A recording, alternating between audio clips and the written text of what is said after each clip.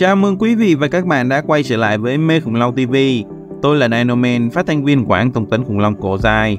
Hy vọng các bạn không bị dài cổ vì phải chờ đợi video mới của chúng tôi. 3 tháng rồi thì chúng ta mới quay trở lại với chuyên mục khủng long mới. Nhưng dù sao thì Dinoman cũng rất vui khi có nhiều cái tên khủng long mới để giới thiệu với quý vị và các bạn. Quý 1 năm 2024 chúng ta đã chứng kiến 13 cái tên khủng long mới trình làng, một con số cực kỳ ấn tượng khi biết rằng trung bình mỗi năm chỉ có khoảng 26 đến 30 loài khủng long mới được công bố. Vậy mà riêng quý 1 năm 2024, chúng ta đã đạt được một nửa con số đó. Vì năm nay là năm rồng nên tôi tin là sẽ còn nhiều loài khủng long mới được công bố hơn, vượt xa con số kỳ vọng là 30. Nào, các bạn đã sẵn sàng chưa? Hãy cùng đến với 9 loài khủng long mới của quý 2 năm 2024 nha. Chúng ta hãy bắt đầu thôi.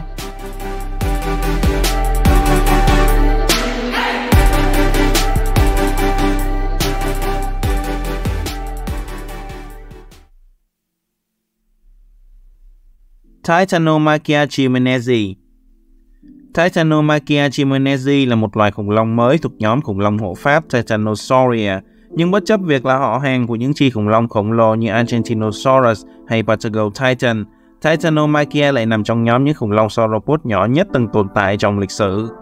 Với phần thân có kích thước tương đương một con bò cỡ lớn và cái cổ dài thường thấy ở các loài sauropod, các nhà cổ sinh văn học Argentina ước tính rằng Cá thể Titanomachia trưởng thành có thể đạt chiều dài khoảng 6 mét và trọng lượng từ 5,8 cho đến 9,8 tấn. Tên chi Titanomachia được đặt theo cuộc chiến Titanomachy trong thần thoại Hy Lạp, một cuộc chiến kéo dài 10 năm giữa các vị thần khổng lồ Titan và các vị thần Olympia. Các Titan đã bị đánh bại trong cuộc chiến đó và phải nhường lại vị thế thống trị cho các vị thần Olympia. Việc đặt tên chi như vậy mang ngụ ý về niên đại của Titanomachia, thời điểm mà các loài khủng long hộ Pháp bắt đầu tuyệt chủng. Tên loài chim Menesi dùng để vinh danh Olga Chimenez, nhà cổ sinh vật học nữ đầu tiên thực hiện các nghiên cứu về khủng long ở tỉnh Chubut, Argentina. Trong phân tích phát sinh loài, các nhà cổ sinh vật học đặt Titanomachia vào nhánh Lithostrotia, một nhóm nằm trong siêu họ Santasauridae. Kết quả này khá giống với một loài khủng long hộ pháp khác được phát hiện vào cuối năm 2023, đó là Bustin Gory Titan Silver. Dù vậy thì Bustin Gory Titan Silver có kích thước lớn hơn Titanomachia chimenezi nhiều, có thể nặng gần 70 tấn. Cùng hai tầng với Titanomachia là chi khủng long ăn thịt mặt ngắn, tay ngắn nổi tiếng Carnotaurus. Tietasaura de Biena Brazil có không ít hóa thạch khủng long, nhưng trước năm 2024 thì họ chưa có bất kỳ loài khủng long hông chim nào được đặt tên. Tietasaura đã phần nào giúp xứ sở Samba lấp đầy khoảng trống này, trở thành loài khủng long hông chim được đầu tiên được đặt tên tại Brazil. Mẫu định danh của Tietasaura gồm phần dưới của xương đùi trái, được khai quật từ năm 1906 và nằm trong số những hóa thạch khủng long đầu tiên được tìm thấy tại Nam Mỹ. Thế nhưng ban đầu những mô tả sớm từng ghi nhận nó như mẫu vật của một loài chưa xác định thuộc chi bò sát dạng cá sấu Hyposaurus. Về sau họ lại ghi nhận đó là một mẫu vật của loài bò sát dạng cá sấu khác là Sarcosuchus harti. Phải đến năm 2024, nhà cổ sinh vật học Camila Bandera mới tiến hành nghiên cứu và mô tả lại mẫu vật nói trên, xác định đây là hóa thạch của một loài khủng long hông chim thuộc nhánh Elasmaria. Bandera cùng các cộng sự quyết định đặt tên cho loài này danh pháp khoa học là Tietasaura de Biena, trong đó Tieta trong tên chi là tên của nhân vật chính trong một cuốn tiểu thuyết cùng tên, ngoài ra còn là cách gọi tắt của Antonieta trong tiếng Bồ Đào Nha, có nghĩa là vua giá. Tietasaura nhằm nhấn mạnh giá trị của chi khủng long này với tư cách là chi khủng long hông chim đầu tiên của xứ sở Samba, có tên loài The nhằm vinh danh nhà địa chất học Mỹ Orville A. Derby, người đã có nhiều đóng góp cho ngành cổ sinh Brazil.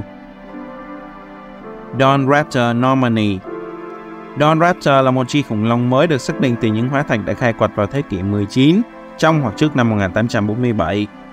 Mẫu định danh cũng như các mẫu vật khác được gán cho chi này ban đầu được Sir Richard Owen xem là mẫu vật của chi khủng long mang giáp Celidosaurus. Những nghiên cứu sau đó đã đánh giá lại và cho thấy các hóa thạch này giống với xương của khủng long chân thú hơn là khủng long hông chim. Đến năm 2024, nhà cổ sinh vật học Matthew G. Byron mới chính thức xác định đó là hóa thạch của một loài khủng long mõm chim, đồng thời đặt danh pháp mới là Don Raptor Tên chi Don Raptor ghép giữa Don là cách viết cổ của tên vùng Dorset, nơi hóa thạch được tìm thấy, và Raptor có nghĩa là kẻ trộm trong tiếng Latin. Tên loài normani là để vinh danh nhà cổ sinh vật học người Anh David B. Norman. Hiện tại thì Don Raptor được phân loại như một loài khủng long theropod móm chim, Avirostra, có thể thuộc nhánh đuôi cứng Titanouri hoặc nhánh đầu sừng Ceratosauria. Chúng được phát hiện cùng hệ tầng với một số theropod khác như Dracoraptor hay Sarcosaurus. Tiamat van der Sea Tiamat van der Sea là loài khủng long thứ hai từ Brazil, cũng là loài khủng long hộ pháp thứ hai được công bố trong quý 2 năm 2024. Tên chi Tiamat dựa trên tên của nữ thần dạng rồng hoặc rắn trong thần thoại Sumer hoặc Babylon, ngụ ý về vị trí rất gần gốc trong cây phát sinh loài của nhánh Titanosauria, do nữ thần Tiamat thường được xem là mẹ của mọi sinh vật thần thoại. Tên loài Van der Sea là để vinh danh tiến sĩ Van der Sea dos Santos Jr., người khám phá ra địa điểm hóa thạch. Mẫu định danh của Tiamat được tìm thấy trong trầm tích của hệ tầng AQ, bồn địa Potiga ở bang Ceará thuộc nước Brazil. Mẫu vật bao gồm 9 đốt sống đuôi rời rạc từ đầu cho đến giữa đuôi, ngoài ra còn có một mảnh vảy xương đơn lẻ được mô tả vào năm 2018, có lẽ cũng đến từ loài khủng long này. Năm 2024, các nhà khoa học Brazil đã mô tả Tiamat van der Sea như một chi loài mới dựa trên các hóa thạch. Đây cũng là loài khủng long đầu tiên được đặt tên từ bồn địa Portugal ở Brazil, dù đã có những mảnh hóa thạch khủng long không xác định khác được tìm thấy trước đó ở hệ tầng này. Kia Cursor Lonchipes đây là chi khủng long chân thú thuộc họ Neurosauridae, ờ, có niên đại phân trắng sớm với hóa thạch được khai quật từ hệ tầng Elec tại Nga. Chi này chỉ gồm duy nhất một loài là Kia longipes, với hóa thạch là một bộ xương không nguyên vẹn, đây mới chỉ là loài theropod phi điểu thứ hai được tìm thấy tại Nga sau Kilescus vào năm 2010. Mẫu định danh của Kia Cursor được tìm thấy vào mùa hè năm 2023 trong trầm tích của hệ tầng Elec bên bờ sông Kia ở tỉnh Kemerovo, Nga. Mẫu vật là một bộ xương không nguyên vẹn, bao gồm đốt sống cổ, đốt sống đuôi, xương sườn, một phần đai vai, xương cánh tay và phần lớn hai chi sau còn dính liền. Năm 2024, nhà cổ sinh vật học Averianov cùng các cộng sự đã chính thức mô tả và đặt tên Kyakusa longipes là một chi và loài mới thuộc họ Noasauridae dựa trên các đặc điểm của hóa thạch. Tên chi Kyakusa là kết hợp giữa tên sông Kia và từ Cursor trong tiếng Latin, thường dùng để chỉ các động vật chạy nhanh. Tên loài longipes có nghĩa là chân dài trong tiếng Latin. Averianov cùng các cộng sự ước tính chiều dài cơ thể của Kia là khoảng 2,5 mét. Họ cũng cho biết cá thể mẫu định danh chưa trưởng thành khi nó qua đời, chỉ mới khoảng 3 tuổi. Do đó nó hoàn toàn có thể đạt kích thước lớn hơn khi trưởng thành đầy đủ. Collagen inakayali Collagen là một chi khủng long thuộc họ Abelisauridae, có niên đại phấn trắng muộn khoảng 71,7 triệu năm trước, với hóa thạch được khai quật từ hệ tầng Colonia, tỉnh Chubut, nước Argentina. Chi này gồm một loài duy nhất là Collagen inacayali, được xác định từ một mẫu vật chưa trưởng thành có tuổi tối thiểu là 6. Mẫu định danh của Collagen được tìm thấy từ năm 2015 bao gồm các mảnh của hộp sọ và đốt sống cổ thứ nhất, cùng phần xương thân có độ nguyên vẹn khá tốt gồm 8 đốt sống lưng, xương cùng hoàn chỉnh, 8 đốt sống đuôi, xương chậu gần như hoàn chỉnh và xương chi sau. Nó có họ hàng và được tìm thấy cùng hệ tầng với các Notaurus. Chúng giống nhau ở một số điểm bên cạnh các khác biệt. Collagen nhỏ hơn Carnotaurus, chỉ dài từ 4 đến 5 mét. Các nhà khoa học xác định con vật này chưa trưởng thành do một số xương chưa hợp nhất. Tên chi collagen bắt nguồn từ thổ ngữ Toshen ở vùng Patagonia, có nghĩa là đến từ nước và đất sét, Do hóa thạch của collagen được khai quật từ lớp trầm tích mà đá sét chiếm đa số, thì hiện nơi đây từng là môi trường cửa sông trong thời cổ đại. Tên loài Inakayali là để vinh danh Inakayan, một trong những tu trưởng cuối cùng của người Tehuanche, cư dân bản địa của miền trung Patagonia. Mushanwa sanyatiensis Mushanwa là một chi khủng long dạng chân thần lằn đã tuyệt chủng có niên đại tam điệp muộn khoảng 220 triệu năm trước, với hóa thạch được tìm thấy tại tầng Pepli Acros ở Zimbabwe bao gồm một cái chân không nguyên vẹn. Chi này gồm một loài duy nhất là Mushanwa sanyatiensis. Trong báo cáo sơ bộ thì mẫu vật này ban đầu được xác định thuộc một loài Acosauromorpha, không phải khủng long. Tuy nhiên những phân tích sau đó vào năm 2023 đã đi đến kết luận rằng nó thuộc một loài khủng long dạng chân thần lằn giống Riohasaurus trước khi được mô tả chính thức vào năm nay.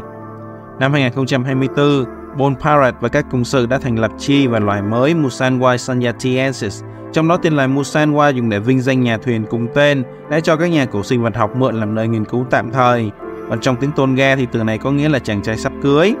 Tên loài Sanyatiensis được đặt tên theo con sông Sayati chảy vào hồ Cariba, Dựa trên các họ hàng có hóa thạch hoàn chỉnh hơn, Mushenwa nhiều khả năng là loài đi bằng hai chân bắt buộc. Trong lưng gốc của mẫu định danh được ước tính khoảng 386 kg.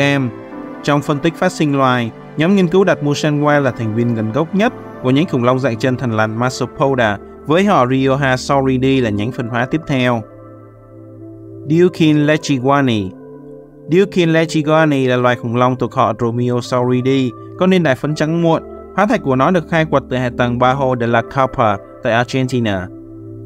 Mẫu định danh của Dukin Lechiwani bao gồm phần lớn xương cánh tay bên trái, một số mảnh xương chậu và đốt sống đuôi, bên cạnh một số mảnh có thể là từ đốt sống khác.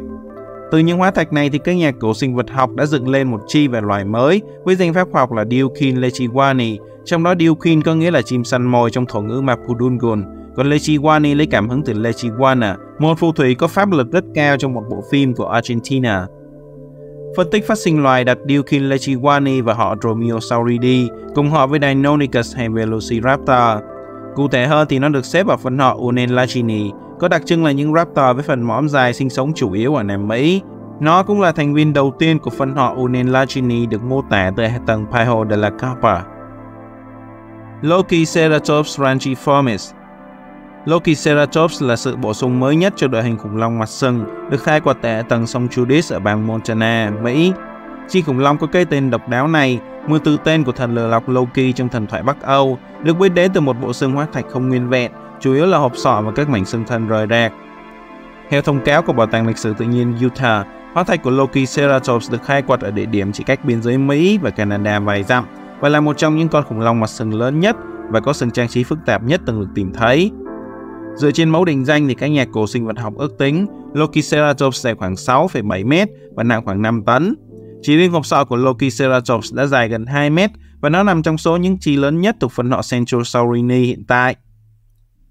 Danh pháp hai phần đầy đủ của Lokiceratops là Lokiceratops ranchiformis. Sở dĩ nó được đặt theo tên thần Loki là do có cặp sừng cong giống một số minh họa về thần Loki, đồng thời cũng là để gợi nhớ đến sự hợp tác giữa các nhà nghiên cứu Mỹ và Đan Mạch một quốc gia Bắc Âu trong quá trình nghiên cứu Lokiceratops. Tên loài Ranchiformis bắt nguồn từ danh pháp Ranchifer của loài tuần lộc Bắc Mỹ, với cặp gà cũng bất đối xứng như cặp gà chính giữa diềm của Lokiceratops. Do đó, danh pháp hai phần của con khủng long này có thể dịch thô là khủng long mặt sừng của Loki trong lũng tuần lộc Bắc Mỹ.